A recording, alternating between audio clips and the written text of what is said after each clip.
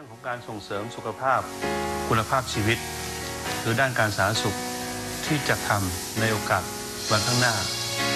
นั่นก็คือเราได้ทำ MOU กับสำนักงานหลักประกันสุขภาพแห่งชาติ เพื่อที่จะมาดูแลผู้สูงอายุ ผู้พิการ เยาวชน ถ้าผู้สูงอายุผู้พิการเยาวชนได้รับการดูแล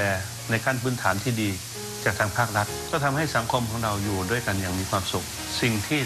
สำคัญที่สุดที่จะทำให้พี่น้องประชาชนมีความสุข นั่นก็คือแนวทฤษฎีปรัชญาเศรษฐกิจพอเพียง สิ่งเหล่านี้ครับ จะทำให้สังคมไทยมีความเข้มแข็ง เป็นเกราะคุ้มกัน ให้พี่น้องประชาชนนั้นไม่เดือดร้อน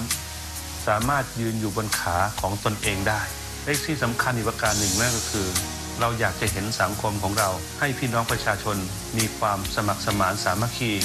คิดถึงประเทศชาติมาก่อน และทำให้ ประเทศชาติของเรานั้น มีความเจริญรุ่งเรือง และพี่น้องประชาชนก็จะมีความสุขขอให้ทุกคนโชคดีตลอดไปครับเรา